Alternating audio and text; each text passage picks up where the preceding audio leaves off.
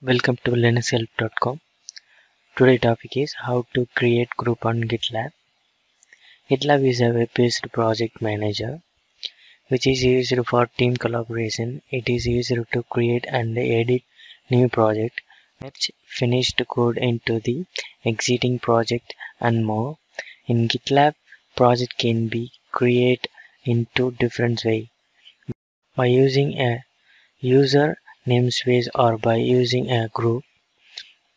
A user must individually own project or he must belong to any group which own same project. So let's see how to create a group on GitLab. I am going to open GitLab and browser. Use this IP address. Press enter See here GitLab is open on browser. Eh? It will asking for credential. I'm going to open GitLab configuration file. See here, this is temporary password for GitLab. I'm going to copy this password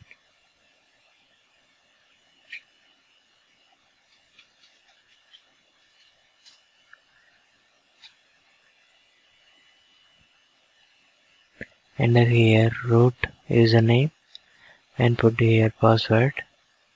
Now sign in. See here gitlab dashboard is open now. Now i'm going to open menu section and go to my admin section.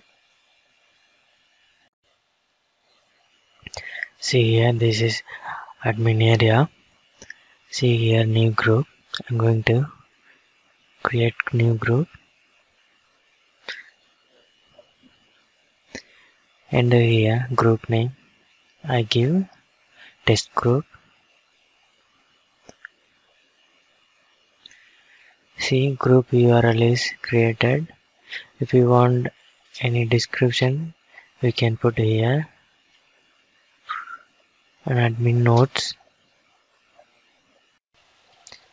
and next group other section we can choose. Any file here?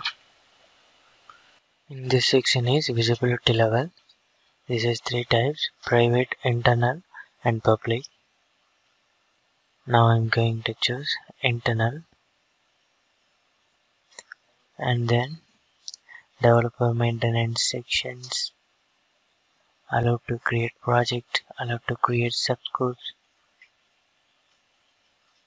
two-factor authentication I'm going to create group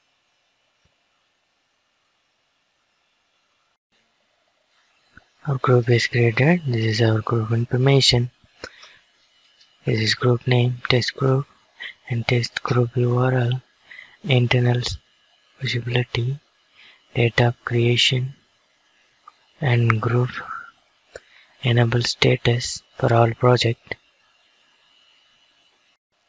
do you want to see our group you can go menu section and select group and then go to your group. Click here. It's loading. You can see our test group is here. Our gitlab group is successfully created. Thank you for watching this video and if you like it please subscribe to our channel to learn more tutorials, visit www.linuxhelp.com and if you have any queries, mail us to support at linuxhelp.com.